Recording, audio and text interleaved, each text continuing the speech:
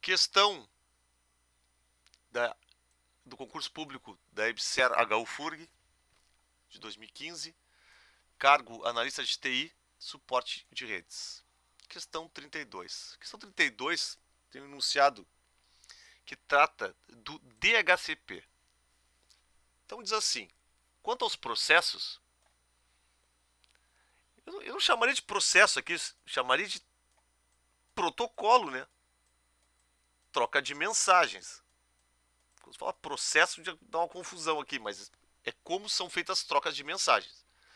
Mencionados abaixo, escolha a alternativa que apresenta a sequência natural desses processos, dessas trocas de mensagens, né? Para um computador recém-conectado. Então, o que está sendo considerado aqui?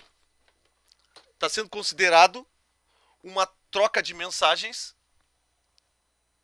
com um computador recém-ligado.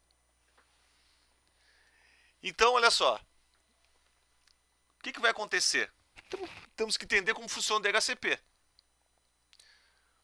Então, imagine que está sendo ligado aqui um host que não tem endereço nenhum está configurado para obter o endereço de forma automática. Existe um servidor de DHCP na rede. Então eles têm esses pré-requisitos aqui, eles têm que estar contemplados, né?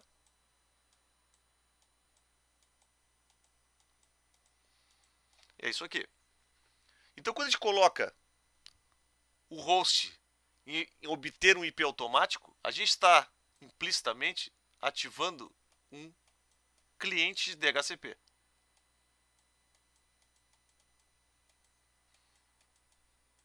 E aí começa. Ao ligar esse host aqui, então, né, recém-conectado, plugou na rede aqui, vai haver um processo de descoberta, discovery. Esse host aqui vai enviar em broadcast ou em multicast, no caso de PV6, um processo de descoberta. Então, se a primeira coisa que vai acontecer aqui é alguém tem um IP para me dar, então essa é a primeira coisa que vai acontecer.